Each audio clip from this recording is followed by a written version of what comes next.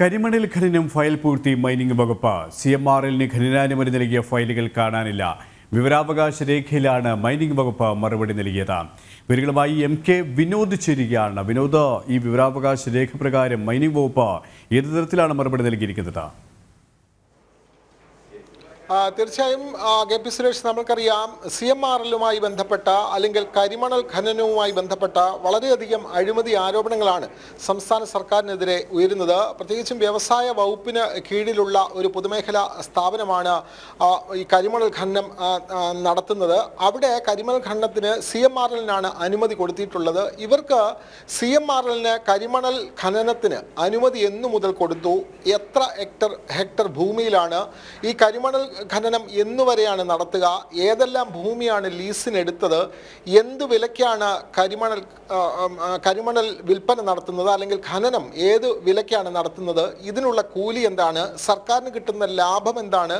തുടങ്ങി വിശദമായ ചോദ്യങ്ങളാണ് വിവരാവകാശ പ്രകാരം ചിത്രഭാനു എന്ന് പറയുന്ന പൊതുപ്രവർത്തകൻ. അദ്ദേഹം തിരുവനന്തപുരം സ്വദേശിയാണ് പ്രായമുള്ള വ്യക്തിയാണ്. അദ്ദേഹമാണ് ഇത്തരത്തിൽ ഒരു വിവരാവകാശ രേഖ അല്ലെങ്കിൽ വിവരാവകാശ പ്രകാരം ഇത്തരം കാര്യങ്ങൾ ജിയോളജി ആൻഡ് മൈനിങ് വകുപ്പിനോട് ആവശ്യപ്പെട്ടിരുന്നത്. പക്ഷേ വിവരാവകാശ പ്രകാരം ഇതിനൊന്നും മറുപടി ലഭിച്ചില്ല. തുടർന്ന് അദ്ദേഹം അപ്പീൽ പോകുകയായിരുന്നു.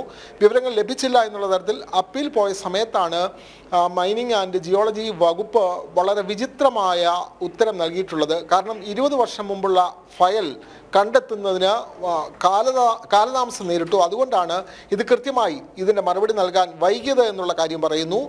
എന്നാൽ ഈ പറഞ്ഞ ചോദ്യങ്ങൾക്കൊന്നും ഉത്തരം നൽകിയിട്ടുമില്ല. ഈ ഫയൽ കാണാതെ പോയതുകൊണ്ട് അത് തപ്പിയെടുക്കേണ്ട അല്ലെങ്കിൽ അത് അന്വേഷിക്കേണ്ട ഒരു കാലതാമസം വന്നു എന്ന് ജിയോളജി വകുപ്പ് mining mining mining and geology വകുപ്പ് സമ്മതിക്കുകയാണ്. അതിന്റെ ജൂനിയർ സൂപ്രണ്ട് ശ്രീമതി ശോഭയാണ് രേഖാമൂലം മറുപടി നൽകിയത്. ഈ ഫയലുകൾ കാണാതെ പോയതുകൊണ്ട് മറുപടി നൽകാൻ വൈകി എന്നുള്ളതാണ്. പക്ഷേ ഈ ചോദ്യങ്ങൾക്കൊന്നും കൃത്യമായ മറുപടിയുമില്ല. അപ്പോൾ ഇത് വലിയ അഴിമതിയാണ് ഇതിന്റെ പിന്നിൽ നടക്കുന്നത് എന്നുള്ള കാര്യം വളരെ വ്യക്തമാണ്. കാരണം വിവരാവകാശ പ്രകാരം ചോദിച്ചാൽ പോലും ഈ മൈനിങ് അല്ലെങ്കിൽ ഇത് കരിമണൽ ഖനനം സി എം ആർ എല്ലിന് എത്ര വർഷത്തേക്കാണ് കൊടുത്തിട്ടുള്ളത് പാട്ടത്തിനാണോ കൊടുത്തിട്ടുള്ളത് അല്ലെങ്കിൽ ഏത് വർഷം മുതലാണ് എത്ര മെട്രിക് ടണ്ണാണ് ഖനനം നടത്തുന്നത് ഏതെല്ലാം ഭൂമിയിലാണ് അതിന്റെ അളവ് എന്താണ് തുടങ്ങിയ കാര്യങ്ങൾക്കൊന്നും കൃത്യമായ മറുപടിയോ രേഖയോ ഒന്നും സർക്കാരിന്റെ കയ്യിലില്ല എന്ന് പറയുമ്പോൾ എത്ര വലിയ അഴിമതിയാണ് ഇതിന്റെ പിന്നിൽ നടക്കുന്നത് എന്ന് വ്യക്തമാകും. എന്തായാലും വിവരാവകാശ പ്രകാരം പുറത്തു വന്ന ഈ രേഖ സർക്കാരിനെതിരായ വലിയ ഒരു ആരോപണമായി ഉയരുമെന്ന് യാതൊരു സംശയവുമില്ല. ഇത്തരത്തിലുള്ള ഒരു ദുരൂഹത ഇത്തരത്തിലുള്ള ഒരു വിളിച്ചുകളി നടത്തിയാൽ അത് ഇവർക്ക് തന്നെയാണ് തിരിച്ചടിയാവുക. വീണാ വിജയന് തിരിച്ചടിയാകും. മുഖ്യമന്ത്രി പിണറായി വിജയന് തിരിച്ചടിയാകും. ഇടതുപെട്ട സർക്കാരിന് തന്നെ തിരിച്ചടിയാകും. അത്തരത്തിലുള്ള ഒരു സ്ഥിതിവിശേഷത്തിലേക്ക് തന്നെയാണ് കാര്യങ്ങൾ പോവുക അല്ലേ? തീർച്ചയായും കെ പി സുരേഷ് നമുക്കറിയാം ഇത് സി എം ആറിലുമായി ബന്ധപ്പെട്ട മുഖ്യമന്ത്രിയുടെ മകളുമായി ഒക്കെ ബന്ധപ്പെട്ട മാസപ്പടി വിവാദങ്ങൾ അടക്കം നിലനിൽക്കുമ്പോഴാണ് കൃത്യമായി സി എം ആറിന് ഇത്തരത്തിലുള്ള ഇത്തരത്തിലുള്ള ഖനനാനുമതി ഉണ്ടോ ഇല്ലയോ എന്നുള്ള ചോദ്യത്തിന് സർക്കാരിന് കൃത്യമായ മറുപടി നൽകാൻ പോലും കഴിയാതെ പോകുന്നത്.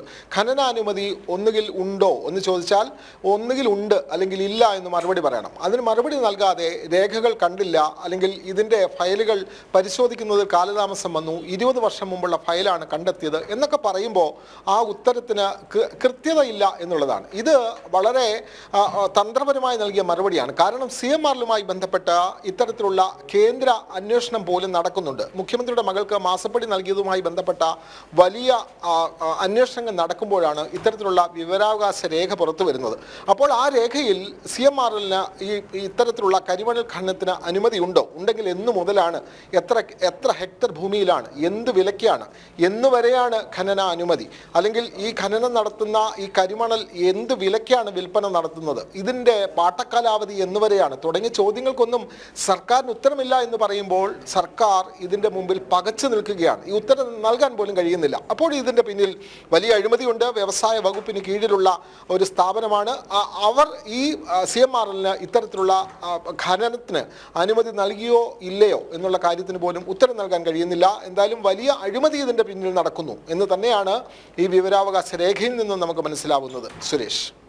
അതായത് വിനോദ് പറഞ്ഞതുപോലെ തന്നെ വലിയ അഴിമതി നടന്നിട്ടുണ്ട്. കൃത്യമായ രീതിയിലുള്ള ചോദ്യങ്ങൾക്ക് ഉത്തരം നൽകേണ്ടതുണ്ട്. അത്തരത്തിലുള്ള ഉത്തരം നൽകിക്കഴിഞ്ഞാൽ മുഖ്യമന്ത്രിയിലേക്കും വീണാ വിജയിലേക്കും സർക്കാരിന്റെ ഉന്നതരിലേക്കും കാര്യങ്ങൾ എത്തും അത് തടയിടാനുള്ള ഒരു സൂത്രം തന്ത്രങ്ങൾ. അത് തന്നെയാണ് ഈ ഒരു വിവരാവകാശ നിയമപ്രകാരം സമർപ്പിച്ച ഒരു ചോദ്യങ്ങൾക്ക് കൂടി കൃത്യമായി ഉത്തരം നൽകാതെ അത്തരത്തിലുള്ള ഒരു ഒരു പഴുത് തേടാനുള്ള ഒരു ശ്രമമാണ് നടക്കുന്നത്. പക്ഷേ പി സി ജോർജ് പറ- പറഞ്ഞതുപോലെ തന്നെ അത് അവർക്ക് തന്നെ വിനിയാകുന്ന ഒരു സാഹചര്യത്തിലേക്ക് തന്നെയാണ് തീർച്ചയായും എത്തിച്ചേരുക അല്ലേ?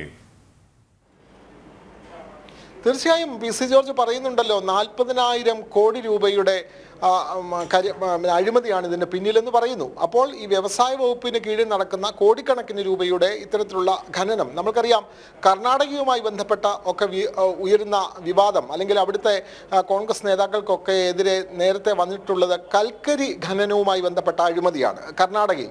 അതിന് സമാനമായ നിലയിലാണ് സംസ്ഥാനത്ത് പ്രത്യേകിച്ചും കേരളത്തിൽ കരിമണൽ ഖനനത്തിന്റെ പേരിൽ വമ്പൻ അഴിമതി. അതിന്റെ പിന്നിൽ വമ്പൻ റാക്കറ്റ് ഉണ്ട് എന്ന് തെളിയുകയാണ്. കാരണം മുഖ്യമന്ത്രിക്കും മകൾക്കും ഒക്കെ എതിരെ അല്ലെങ്കിൽ മുഖ്യമന്ത്രിയുടെയും മകളുടെയും ഒക്കെ പേരിൽ ഇത്തരത്തിലുള്ള ഈ മാസപ്പടി നൽകുന്ന കമ്പനിയാണ് അവിടെ കരിമണൽ നടത്തുന്ന കരിമണൽ ഖനനം നടത്തുന്നത്.